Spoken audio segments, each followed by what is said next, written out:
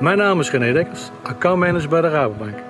En bijna dagelijks heb ik contact met boomkwekers. Dan wordt me de vraag gesteld, hoe kijkt de Rabobank naar de huidige ontwikkelingen in de boomkwekerij? Loopt u even mee? De Rabobank constateert bij alle marktpartijen binnen en buitenland dat groen echt op de kaart staat. De tuincentra laten groei zien in de verkoop en het budget van gemeentes groeide de afgelopen jaren. Dit sluit goed aan bij de strategie van de Rabobank: Growing a Better World Together.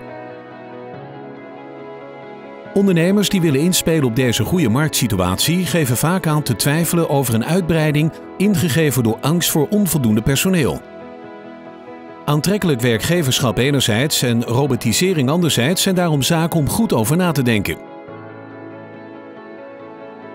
De Rabobank constateert in alle marktsegmenten dat duurzaamheid een steeds grotere rol speelt bij de aankoop van groen.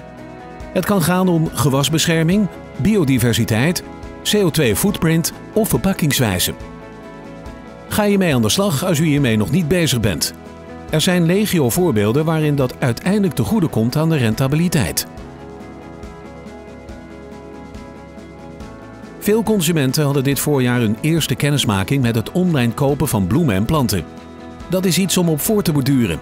Dus het is zaak dat uw bedrijf klaar is voor de digitale werkwijze in de keten.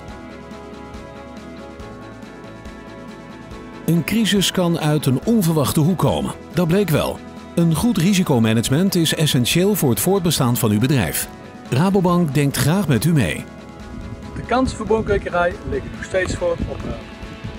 Groen was en blijft wat ons betreft de komende jaren nadrukkelijk in de belangstelling. Spreek ons erop aan, want zowel ik zelf als mijn Rabo-collega's zijn graag in gesprek met u over uw mogelijkheden om in te spelen op deze kansen.